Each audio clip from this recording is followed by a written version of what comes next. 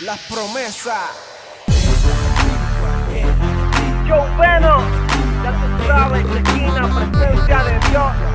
Oye, Blaster, listo para la guerra. Ponte la armadura, quito la cosa segura, pero solo para los que en él perdura. De eso no hay duda, que el enemigo hace travesura y pídele al Padre de su ayuda. Él va a prevalecer, nada se compara a su poder. El mismo del futuro, del presente y del ayer. El mismo si tú Estamos en guerra con defensas espirituales de la tierra. Tu espada en la Biblia son dos temas. Ya eres victorioso por el enemigo esta letra.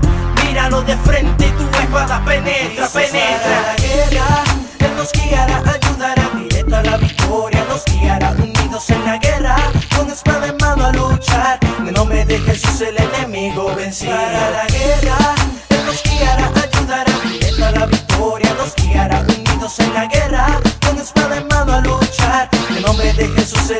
enemigo vencido. Para la guerra, coge tu espada y persevera. Alienta de tu padre que te vela. No tienes que temer, pues con Jesús tú vas a vencer.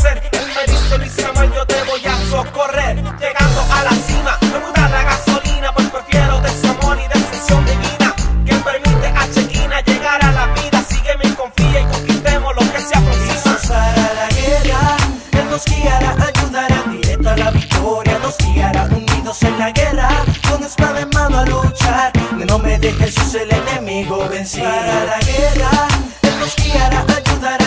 A la victoria, nos guiará. Unidos en la guerra, con espada en mano a luchar, en nombre de Jesús el enemigo. Vencido. Con mi espada en la mano, si titubeo voy al cano, pues sé que la batalla la he ganado, no estoy asustado, al contrario motivado, pues confío en aquel que nunca me ha desamparado ni dejado. Siempre va de mi lado.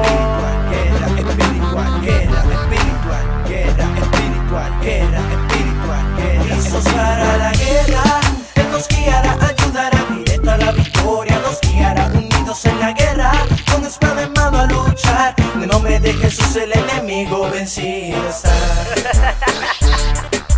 Bueno, en Zacarías 4:6, no con ejército ni con fuerza, sino con mi espíritu, ha dicho Jehová de los ejércitos. Así que no te preocupes, mi hermano, porque Él ha prometido estar con nosotros hasta el fin